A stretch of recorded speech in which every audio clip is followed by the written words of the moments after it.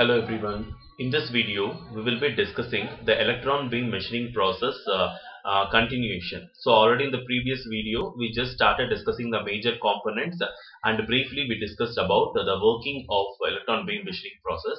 So here we'll be continuing uh, the electron beam machining.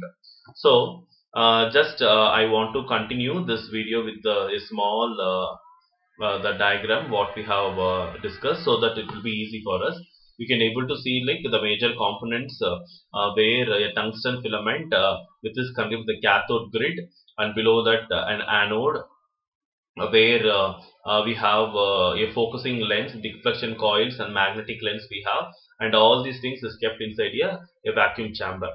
So i think we are all very much clear with this thing. So now even we got to know like how exactly it is working now here you can able to see this. This uh, video is uh, continuing with uh, how uh, the excess material is removed from the workpiece. You can able to see like uh, uh, when the the stream of electrons when it is directly hitting the surface of the workpiece either it melts or vaporizes. We can call it I, I mean usually this process is taking place due to the surface erosion or else like a high pressure the electrons uh, charges are creating.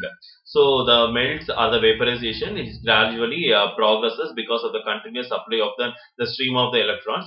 Finally, the molten metal, if any of the top of the front, which is expelled from the cutting zone by the high vapor pressure at the lower part and uh, the whole process is carried out in a vacuum chamber uh, because uh, already we discussed in case of any uh, presence of the gas that leads to the further contamination or the further pollutant and that will stick directly on the workpiece so that the output whatever we are looking for we may not able to get so here the gun in EBM process which is used is a pulsed mode. So holes can be drilled in thin sheets using a single pulse. For thicker plates the multi-pulses would be required.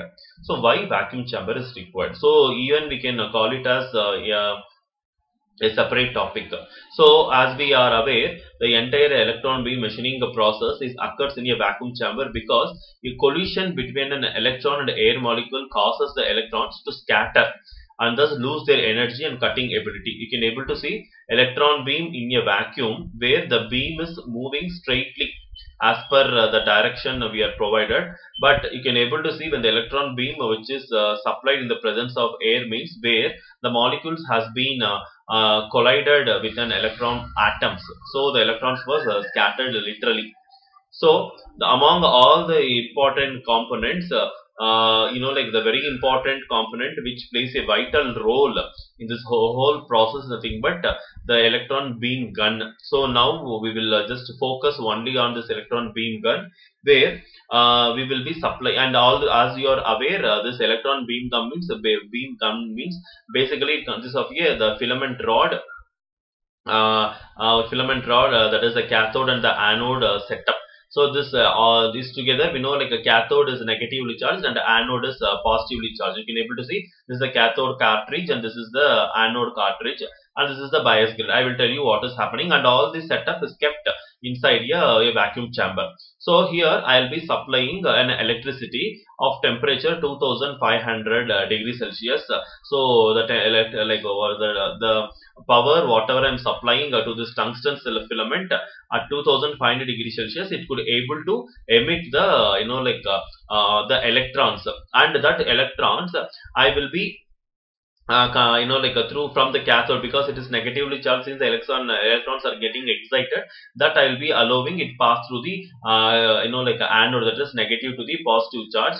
And here you can able to see this there is something called um, what is this uh, this particular part the magnetic lens. You can able to see what is the purpose of this magnetic lens means so what the stream of electrons which is uh, coming out uh, uh, from this particular electron beam gun where we will be we will be making the cross section of circular. So circular to make the electron beam stream into the circular cross section we are allowing it to pass through the magnetic lens. You can able to see this.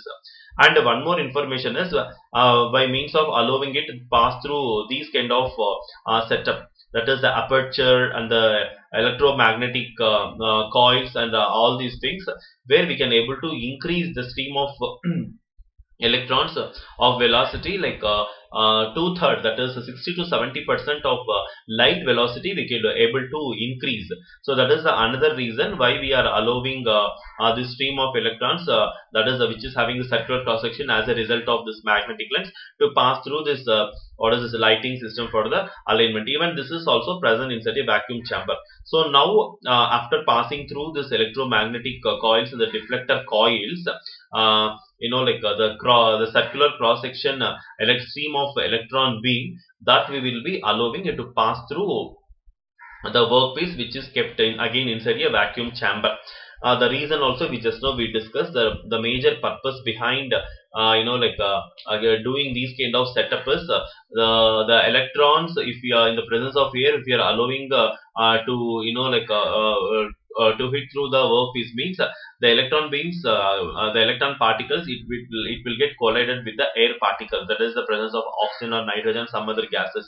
To avoid all those things only we are providing even the workpiece and the table everything will is covered with uh, you know like a vacuum chamber and simultaneously a carrier gas is uh, uh, continuously provided. Uh, so the purpose of that one means in the vacuum chamber only uh, it will remove off the excess materials. Uh, I mean excess material means or the vaporized or the molten material which is present as a result of this electron beam you know like collision and that will be you know like used.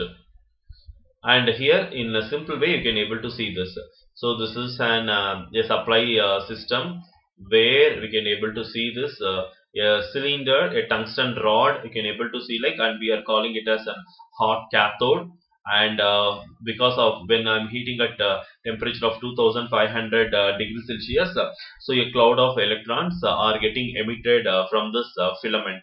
So now these elements are being diverted to an uh, what is it, a grid cup so grid cup so that it will travel uh, towards the uh, what is that anode. So the purpose of passing it through the anode means where it is uh, accelerating so and even uh, the flow of electrons has been uh, controlled uh, in these things and the potential difference of 50 to 100 uh, kilovolts is maintained between the filament and the anode. So 50 that is 50 to 150 kilowatts uh, the speed acceleration speed is maintained and then it is passing through the uh, focusing uh, anode so that it will accelerate the electrons to move at a speed of 60 to 70 percent of speed of light and finally we will getting a electron beam uh, that uh, we can able to see it here.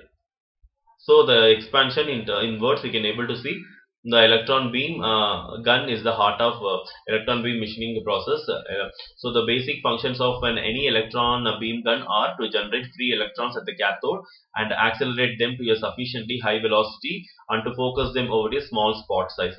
So cathode is generally made of uh, tungsten or tantalum. Such cathode filaments are heated often inductively to a temperature of around uh, 25 degrees Celsius or it is 2500 degrees Celsius not 25 and heating leads to thermo-ionic emission of electrons. So a combination of repelling forces from the negative cathode and attracting forces from the positive anode causes the free electron to accelerate it and directed towards the workpiece. So one of the major requirement of electron beam machining operation of electron beam gun is the maintenance of the desired vacuum so you can able to see all those things the gun uh, in other different way. The vacuum chamber and the electron beam gun. So the nozzles and the water cooling uh, is also provided separately. And this is the boiler and heater. So all those things we can able to see. So the vacuum uh, is achieved and maintained using a combination of rotary pump and diffusion pump. Diffusion pump is attached to the diffusion pump port of the electron beam gun and the diffusion pump is essentially an oil heater as the oil is heated the oil vapor rushes upward nozzle changes the direction of motion of the oil vapor and the oil vapor starts moving downward at a high velocity. Such high velocity jets of oil vapor entrain any air molecule present within the gun and this oil is evacuated by a rotary pump through the backing line. And uh, speaking about the power supply, the high voltage power supply used for EBM system generates voltage of up to 150 kilowatts to accelerate the electrons. The most powerful electron beam machines are capable of delivering enough power to operate guns at average uh, power levels of uh, up to 12 kilowatts. Individual pulse energy can reach 120 joules per pulse. and to avoid the possibility of arcing and short circuits, short circuits, the high voltage sections of the power supply are submerged in an insulating dielectric oil. Thank you.